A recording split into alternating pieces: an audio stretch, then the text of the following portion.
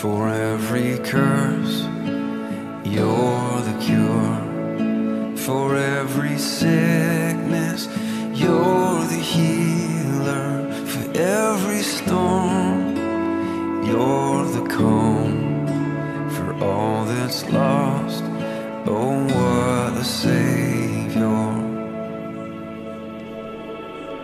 on that cross.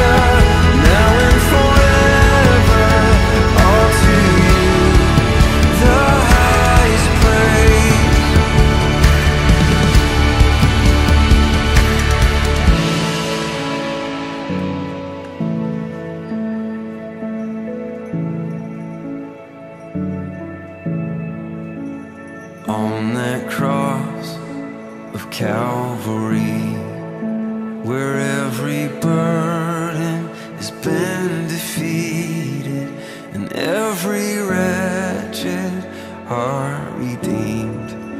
You drown our sin in seas of crimson.